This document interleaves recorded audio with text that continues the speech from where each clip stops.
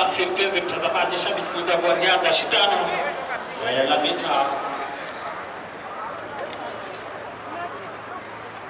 1500 meters eh, ladies nimeweza kuanza kwa uzuri kabisa, ikiwa eh, wanariadha tunaweza kusema ni idadi kiasi ya mboga eh, ikiwa ni Kiswahili cha mtaani ambapo tafsiri yake yani wanaoshiriki eh, ni idadi ambayo ni kufana kabisa.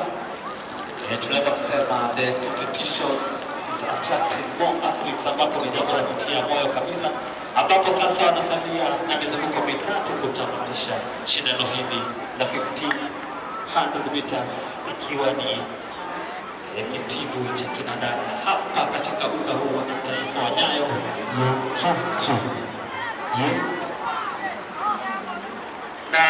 na jaribu mitambo na jaribu mitambo mwenzangu Mwanzia, niko hapa katika maeneo ya long jump na naona shindano la long jump upande wa kina dada liko karibu kuanza. E, safi kabisa, manake eh, walikuwa wanasubiriwa sana kwa hamu kuweza kuanza shindano hilo e, kwa sababu wenye kupanga wangependa waweze kutambaa na muda ama ratiba eh, ilivyopangwa.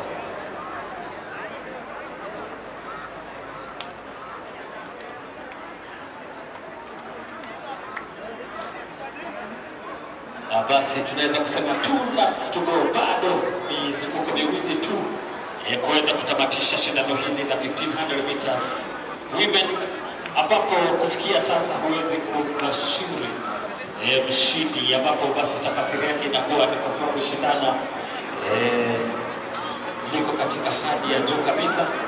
Eh, kila mwanariadha yako katika nafasi nzuri kufikia sasa, lakini utakapo eh, fikia ule mzunguko wa mwisho na zile mita za mwisho mwisho kabisa ndio tutaweza eh, kubaini mshindi kwa macho, ila eh, matokeo rasmi tutaweza kuyapokea kwa wataalamu wenyewe.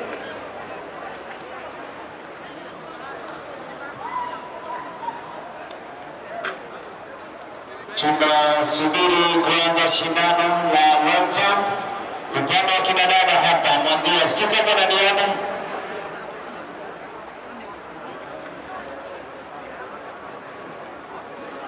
Ah, labda unieleze uko upande upi? Ah, lakini cha msingi ni kwamba eh, mzunguko wa mwisho sasa katika shindano hili la 1500 meters eh, ambapo ishara ama kugongwa kwa kengele hiyo huwa ni ishara ya kwamba ndio mzunguko wa mwisho, na kama nimekueleza ni kwamba kumbashiri ama kumjua mshindi eh, huwa ni katika mzunguko huu wa mwisho, hususan katika zile mita kama mia ni hamsini thelathini za mwisho. Na bila shaka hilo litaweza kubainika hapa leo. Ya maanake ushindani katika shindano hili la 1500 meters women eh, liko katika hali ya juu kabisa, maanake eh, ukitizama sasa wamesalia na mita mia moja na themanini hivi kutamatisha shindano lenyewe, ambapo tunamwona mwanariadha huyu eh, kwa jina kama sikosei ni Wilfred Gesare amesha onyesha hali kabisa kushinda shindano. Makofi kwa basi wanapokuja kutamatisha shindano hili, makofi kabisa. Eh, Ekla Larianya, Ekla Leranya KDF, makofi kwake. Ekla Leranya KDF bila shaka anatoa ushindi katika shindano hili la 1500 meters women. Asante sana.